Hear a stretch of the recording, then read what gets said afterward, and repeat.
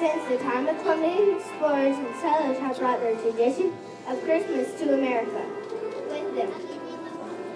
When the Pilgrims first made their treacherous voyage to America in 1620, they arrived just before Christmas Day. The celebration was humble. It was joyous. They brought holly, ivy, and laurel, and the wood to make flowers. Not all the early settlers felt the same way about Christmas. Some religious groups banned it completely. As recently as late 1800s, some places in America did not recognize Christmas as a holiday, and children were school on Christmas Day. As America grew, Christmas time became a special time of year. There are more and more people, especially after America gained its independence. First, they declared Christmas a legal holiday with Alabama.